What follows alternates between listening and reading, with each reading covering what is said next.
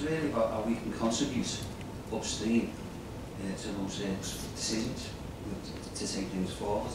So my question would be, are there any specific areas that we could look at uh, for you and the combined authority as they make important decisions over the next 12 months? And how do you see how we can develop our links further in doing that?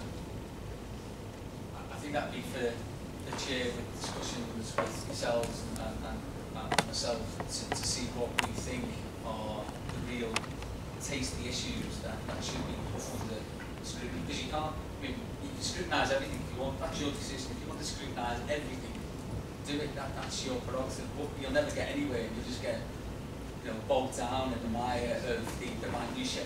Really what it is, you need to be deciding almost thematic areas in which scrutiny should take place. And, and genuinely, as I say, if you, if you want to scrutinise everything, you'll, you'll be meeting every single day, by the way, but you can do that.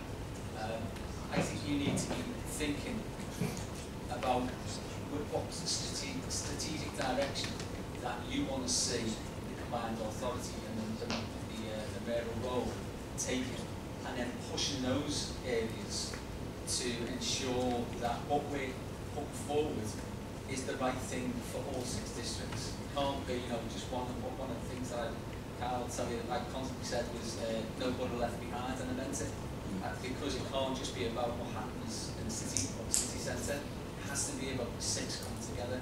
And I think as we've developed developed more maturity between the organisations coming together, we will be able to do that much more easily. But the scrutiny function, I think, for uh, this committee to actually decide on, on, on what it is that you want to do. Yeah, I take that point, Steve. Yeah, you- you're right, but I, I suppose it's about how we can take things forward and support the mayor's role. You know, there's an examination role there. There's going to be SIF money, there's going to be uh, the um, uh, innovation fund, and then you know, how can we help to shape that? And uh, you know, what I'm I saying is, if can we have some conversations around that for the future? That's all. I'm saying. Be, be scrutiny as well, can't they? Yeah. There's not all that. That's what that's what I'm getting at. Yeah.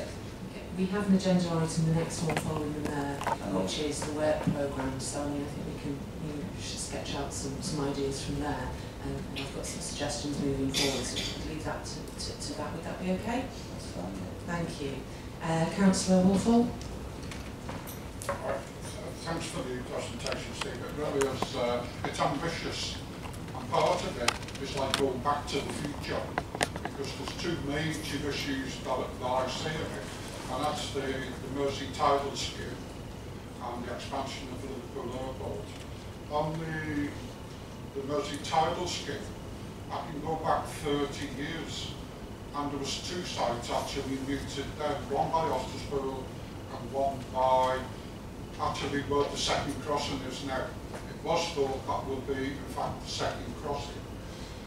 But I'm not too sure I can actually see the advantages of uh, a tidal scheme.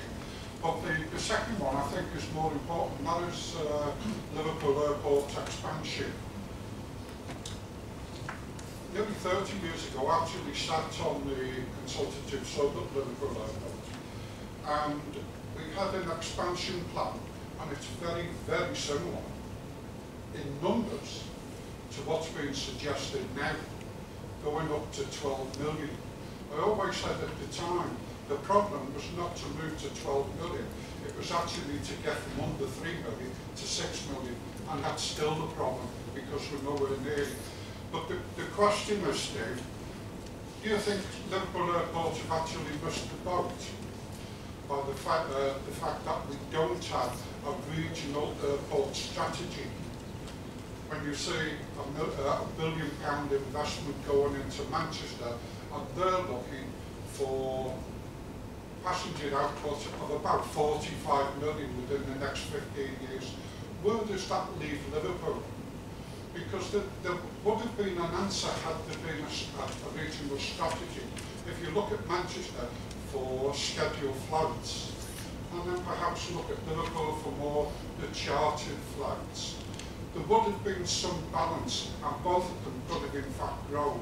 I think Manchester's going to grow at the expense of Liverpool. I think that uh, I think that's sad because I actually flew from Liverpool a couple of weeks ago and the facilities are second to none for a small airport. Uh, I'll do the airport one because it's probably the more complex. Uh, the, the, the tidal stuff, I think we're much more advanced on that. You said about the regional strategy. My understanding is that's exactly what's happening. Uh, I've just had a meeting with uh, business leaders and I, I think there's something in the pipeline to, to do that. Whether we've missed um, the bus, if you like, in, in, regards to Liverpool's uh, part in that, I'm not sure. Hopefully not. The expansion at Heathrow is supposed to also offer new opportunities for us and open up new slots for Liverpool. And we need to be looking at where complementarity is between Liverpool and Manchester. I don't think it, it's in our best interest to be seen if we can compete with Manchester on, on some of those international slots. We, we've seen in the past that we've had certain uh, slots that have failed. So we, we want to make success of the bits that we've got to grow, grow exponentially. I, I agree with you, the, targets may seem ambitious. Sometimes you, you need to be ambitious and if you're aiming for something really huge and you only get half of it, it's better than aiming low and achieving a low figure. So, um, but there's, I mean, that, that might be one of the things that you want to look at because there was a, a, a report that came to the last CA on Liverpool, Liverpool Airport strategy and there's some concerns, of course, with any expansion who live in flight paths and all that sort of stuff. So, um, yes, you know, is it great economically? Yeah. Environmentally, there may well be some considerations that we need to, to, to bottom out. On the tidal barrier, barrage, bridge, whatever it's going to be, whatever form it's going to take. And, and you're right, said that, I think in 1982 I did a report out and talked about the, uh, a tidal barrage of, of some sort. This is slightly different and, and where I, I, I do uh, disagree with you, said you're not sure what the advantages are. There are huge advantages um, of having a tidal uh, barrage. For instance, some of the world's biggest companies have committed to carbon neutral footprints and they only locate to somewhere where they can get clean, green, renewable energy. And that's why I said I want to be Britain's energy coast uh, because that will hopefully afford us the opportunity to bid for some of those people to come locate into our area because we won't have stuff ready on tap.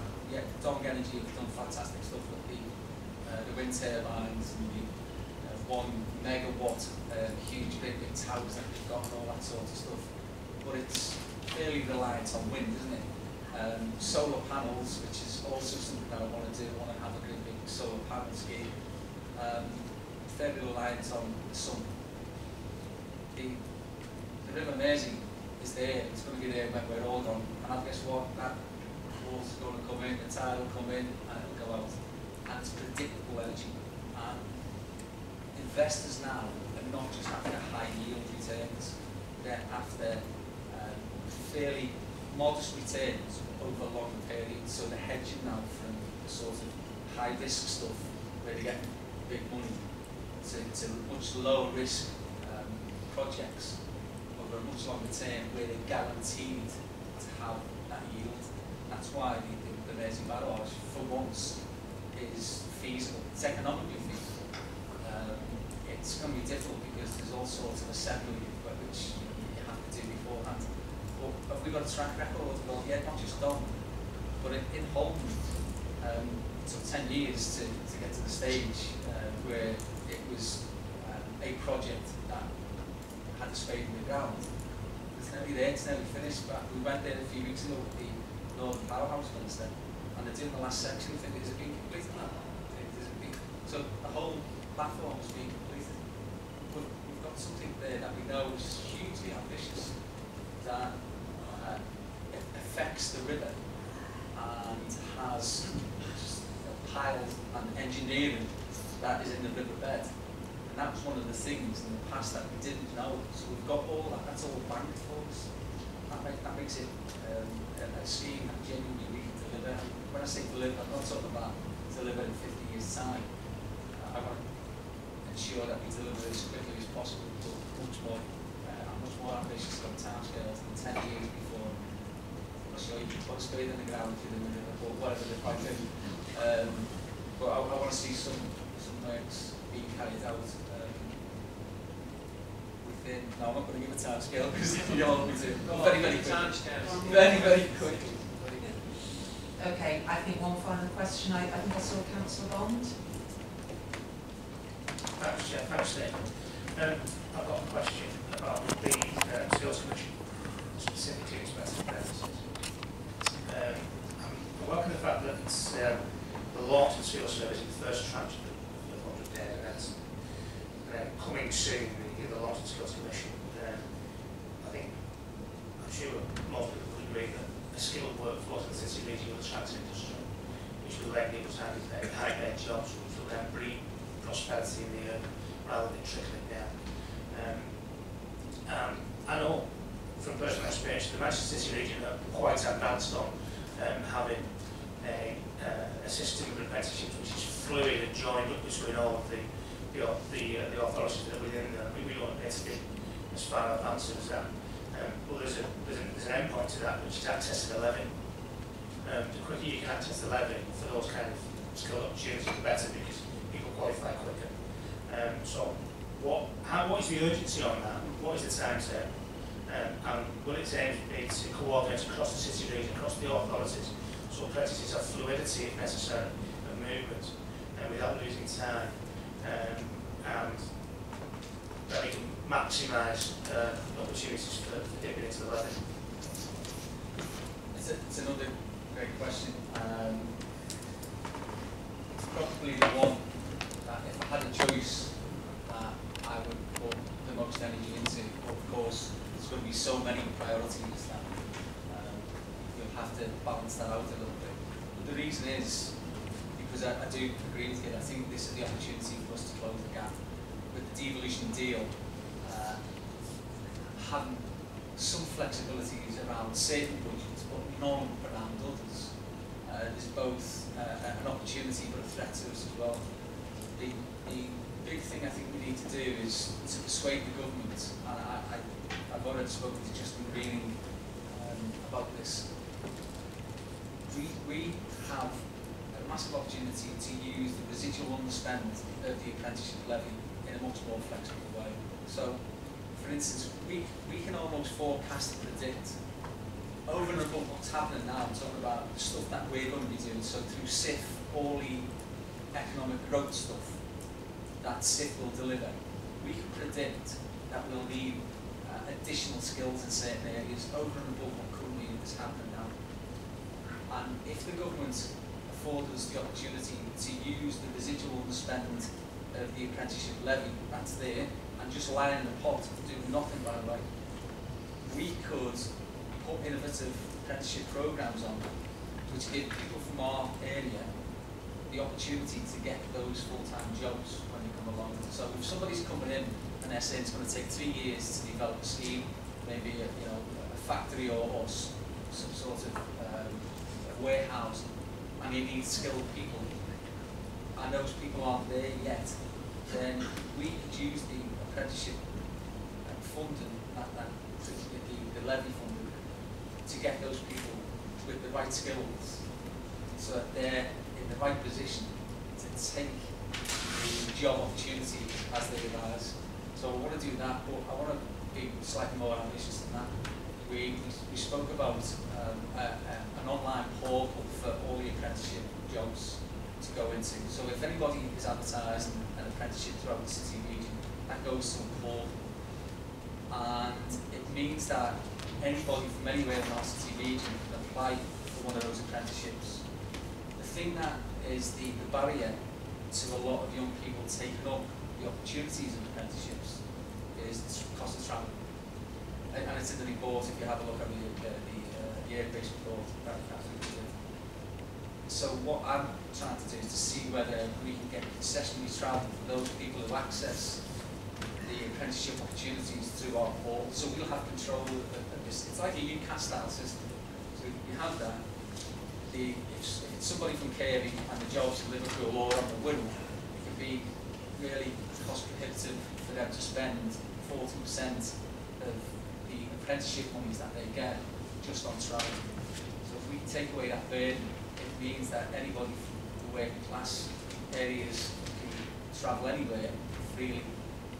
But I want, again, I want to go further than that. I don't want people to conflate um, work-based training with apprenticeships. We need to identify that apprenticeships really are the apprenticeships that we all thought they, are. When I, I was an apprentice really, and there was no doubt what I was going into. It was a three-year course. It was equivalent to an NVQ level three at the time. Um, and that was the standard that the industry decided was the right for my trade. So we should have gold standard apprenticeships, which are NVQ level three.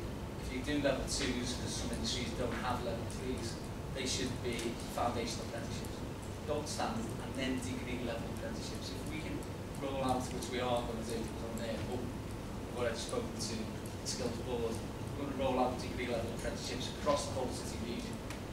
The benefit to them are, my, my two daughters have gone to university with £40,000 worth of debt each. If you're a degree level apprentice, you're doing a similar sort of course at the same sort of level, but not only are you not having to pay for your tuition fees, you're being paid some money to do the job. Surely at the end of that process, because you've worked for that company for four years or whatever it might be, you're in the best position to understand the company's ethos and to get that job at the end of that period. So there are lots and lots of wins we, you'll see with the report when it comes out that there are things that I think everybody, doesn't matter what your political persuasions, you all buy into this because it's in the best interest of everybody in the city region. We, we, we just need to uh, ensure that what it is that we say we'll do, we can actually deliver before we announce, for instance, travel.